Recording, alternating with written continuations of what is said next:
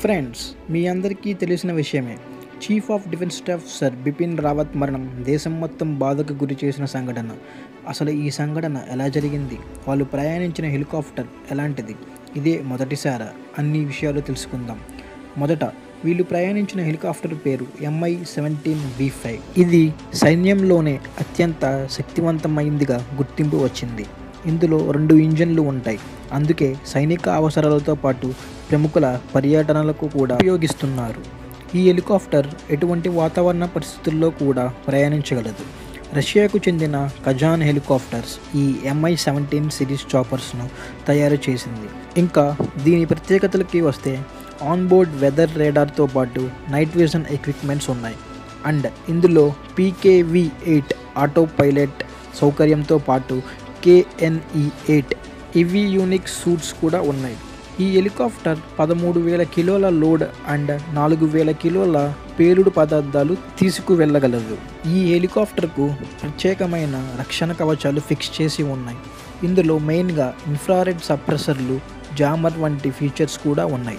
ఈ హెలికాప్టర్ గంటకు రెండు వందల యాభై కిలోమీటర్ల వేగంతో ప్రయాణించగలదు. ఈ హెలికాప్టర్కు అత్యాధునిక ఏవియానిక్స్ కలిగి ఉండడంతో ఏ వాతావరణంలోనైనా ప్రయాణించగలదు. అడవులు సముద్ర జలాలు ఎడారులపై సురక్షితంగా ప్రయాణించేలా తయారు చేశారు. తమిళనాడులో కూలిన MI seventeen V five helicopter ప్రమాదానికి గురి కావడం నెల రోజుల వ్యవధిలో ఇది రెండోసారి. గత నెల పంతొమ్మిదిన అరుణాచల్ ప్రదేశ్లో ఈ సిరీస్ చాపర్ కూలింది. ఇందులో ప్రయాణిస్తున్న పన్నెండు మంది మృతి చెందారు. ఎం వన్ ఎయిట్ ఐ పాత వర్షన్ను ఎంఐ సెవెంటీన్గా అభివృద్ధి చేశారు. భారత్ ఇరాన్ మియన్మార్ ఇరాక్ అమెరికాతో సహా ప్రపంచంలోని కొన్ని దేశాలు ఎంఐ సెవెంటీన్ హెలికాప్టర్ను వాడుతున్నాయి. ఎయిర్ స్ట్రిప్ లేని ప్రదేశాలకు ఈ హెలికాప్టర్లో వివిఐపీలను తీసుకువెళ్తున్నారు. ఈ మధ్య ప్రధాని మంత్రి నరేంద్ర మోడీ ఈ హెలికాప్టర్లోనే లడక్ కేదార్నాథ్ వంటి ప్రాంతాలలో పర్యటించారు. మరి ఇటువంటి ప్రమాదాలు గతంలో ఎప్పుడు జరిగాయి?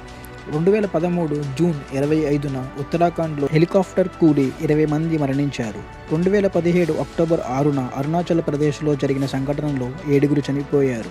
రెండు వేల పద్దెనిమిది ఏప్రిల్ మూడున కేదార్నాథ్ సంఘటనలో కొంతమందికి స్వల్ప గాయాలు అయ్యాయి. హెలికాప్టర్ ప్రమాదంలో ఇలా ప్రముఖులు ప్రాణాలు పోవడం ఇది మొదటిసారి కాదు.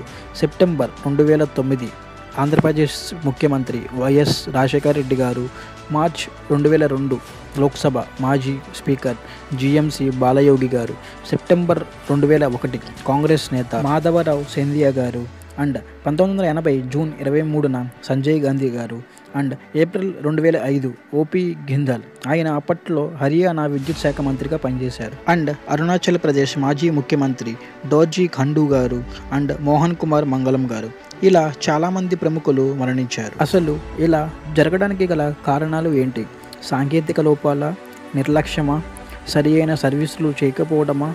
ప్రయాణించే ముందు ఒకటికి రెండు సార్లు చెక్ చేసుకోకపోవడమా లేదా శత్రువుల ప్లానింగా విధిరాత లేదా ఇంకేదైనా? ఇలాంటి మనకు సమాధానం తెలియని ప్రశ్నలు చాలా ఉన్నాయి.